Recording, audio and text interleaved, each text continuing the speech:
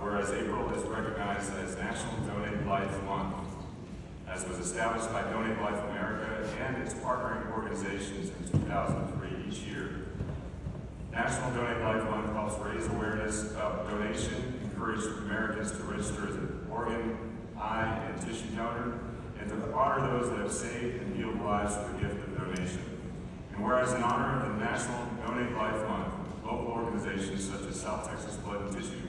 Texas Organ Sharing Alliance, San Antonio Eye Bank, University Health Transplant Institute, and Methodist Transplant Institute will host various activities through the entire month. These events will raise awareness to this cause and honors past donors that have saved and healed lives. And whereas a single donor has the potential to save up to eight lives through organ donation, restore sight to two people through cornea donation, and heal up to 75 lives through tissue donation.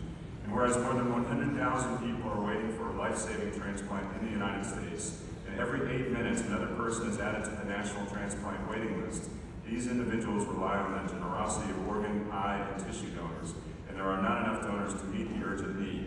And whereas people of all ages and medical histories should consider themselves potential donors and are encouraged to register to help patients in need. Now therefore, I, Ron Nirenberg, Mayor of the City of San Antonio, in recognition thereof, do hereby proclaim the month of April 2024 to be National Donate Life Month in San Antonio,